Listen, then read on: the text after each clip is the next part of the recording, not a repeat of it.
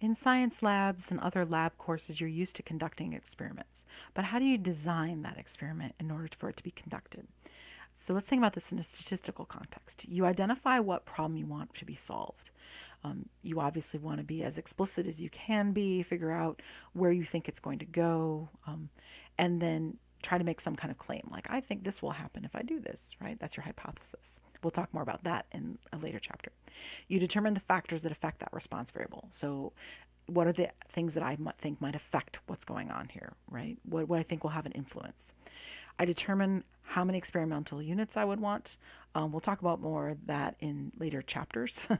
Um, particularly 9.1 and 9.2 it's actually also 9.4 um, because I actually stole them out of 9.1 and 9.2 and put them into a, section called it 9.4. Um, so that's where the sample size portions are. But there's a way to figure that out.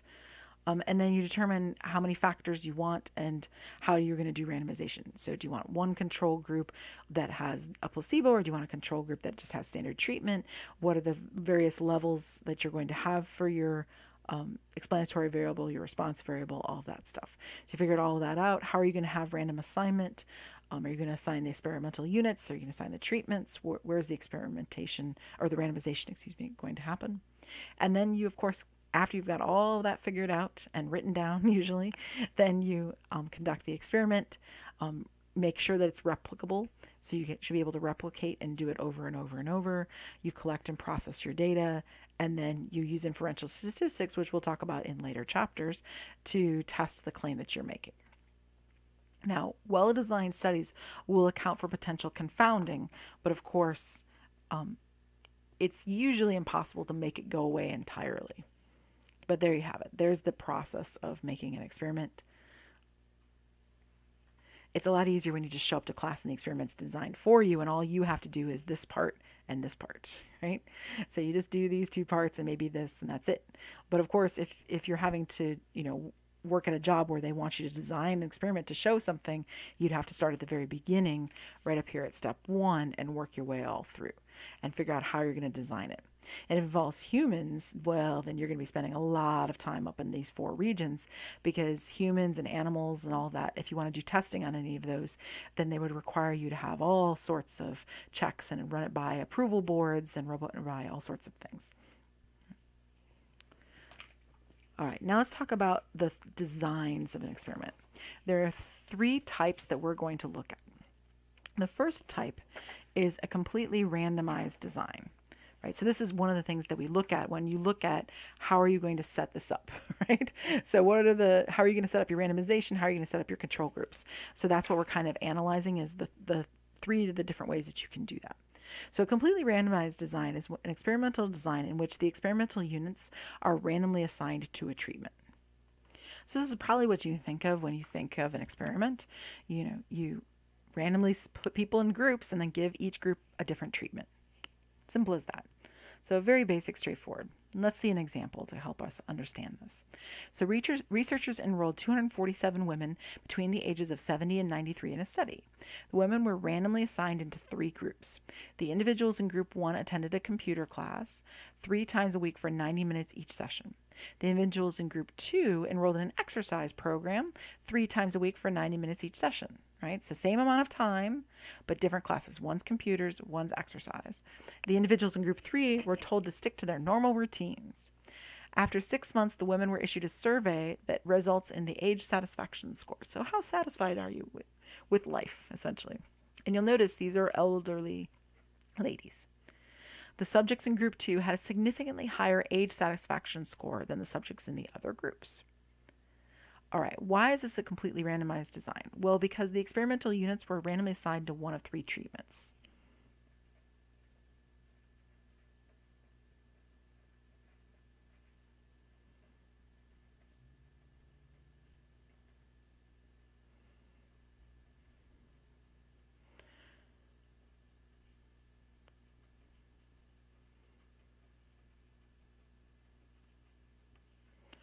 How many levels of treatment are there and what are there? Well, there were three levels. They were the computer class, the exercise class, and quite frankly, the placebo group, right? The, the control group. So the neutral treatment.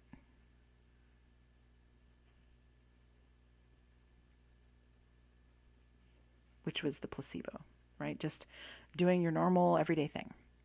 Now, the response variable is their score on this age satisfaction survey. So, how happy are you with your life at this point in your age?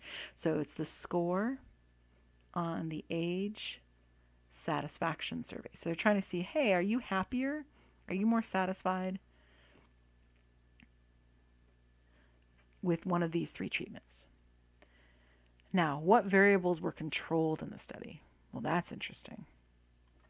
They were all women, so they're trying to control for gender differences by having them all be women.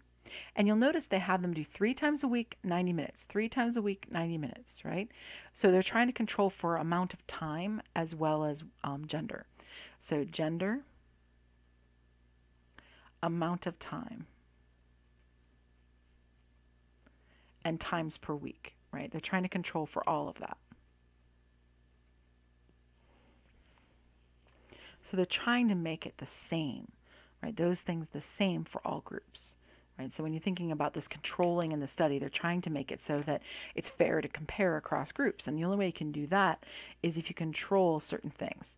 So you're trying to make them the same for all groups.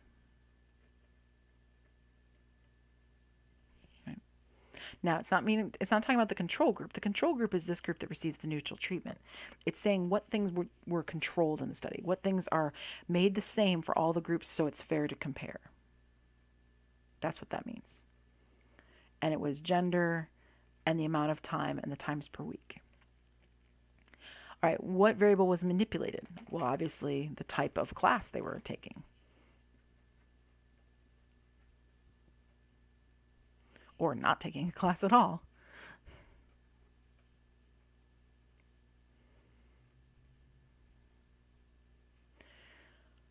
All right, now what about the role of randomization? Randomization was used to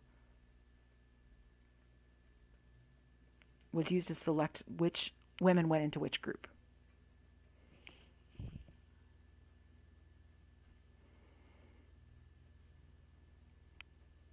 Oops. My W got weird there. Women.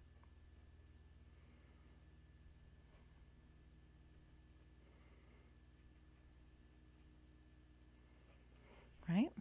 So that's how randomization was used in this study. Um, it helps avoid bias, right? Because if you let everybody get together with their friends, then that's not going to work so you randomly assign them because otherwise, you know, a whole crew will go together to the computer class or the whole crew will go together to the exercise class. If they're already friends, then maybe that will have an effect on what's going on. So if you randomly assign them, it helps avoid bias. To what population do the results of the study apply? Well, they're obviously trying to talk about women age 70 to 90, right? So maybe all women age 70 to 90 you could maybe argue all people age 70 to 90. Um, usually they they stop it and just make it um, one gender to control for gender differences. But I would say it's fair to say all women aged 70 to 93. Honestly, 93 might just be who, who the oldest person was. So let's say 70 and up. I think that's fair.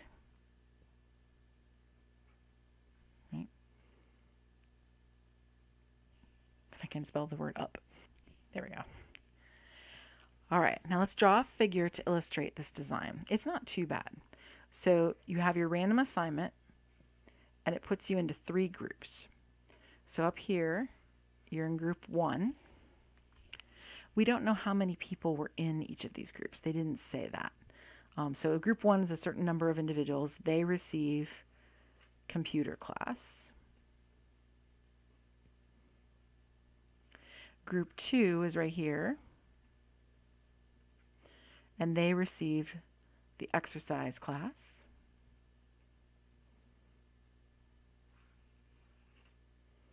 And group three is right here. And they received placebo. All right, so at the start, right here, is the random assignment.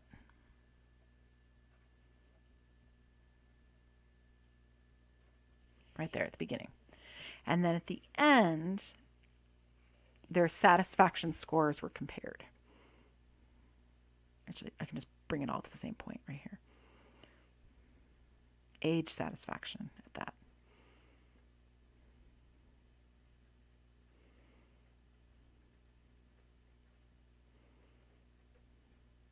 That's what a completely randomized design looks like.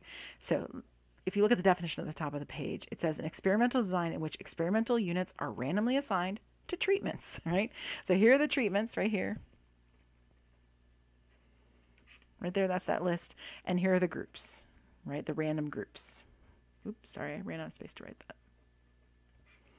And there you have it. So you have your random groups, you have your treatments, you compare at the end. That's what a completely randomized design looks like. I mean, it's pretty much what you'd expect it to be, right? So it seems pretty straightforward and seems very common, right? This must be a very common type of experimental design.